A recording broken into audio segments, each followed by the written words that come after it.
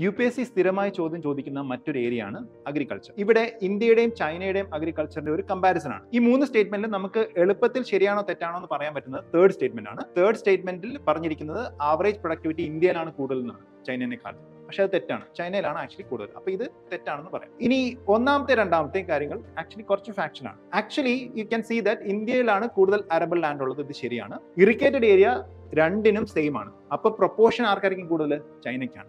അപ്പം second statement actually wrong ആണ്. Suppose നിങ്ങൾക്ക് ഇത് അറിയില്ലെങ്കിലും നമുക്ക് ഊഹിക്കാൻ പറ്റും ഇത് രണ്ടും കൂടെ ഒരു കൺട്രിക്ക് ഈ രണ്ട് സ്റ്റേറ്റ്മെന്റ് ഒന്നിച്ച് ശരിയാനുള്ള ചാൻസ് കുറവാണ്. ഇന്ത്യക്കാണ് അറബൽ ലാൻഡ് കൂടുതലെങ്കിൽ ഇന്ത്യയിലെ ഇറിഗേഷന്റെ പ്രൊപ്പോർഷൻ കുറവായിരിക്കും. അതേസമയം ചൈനയ്ക്കാണ് കൂടുതലെങ്കിൽ ചൈനയിലെ ഇറിഗേഷന്റെ പ്രൊപ്പോർഷൻ കുറവായിരിക്കും. ആ ഒരു രീതിയിൽ നമുക്ക് ഉത്തരത്തിലേക്ക് വേണേ എത്താം. ഇവിടെ നമുക്കറിയാം answer is a only one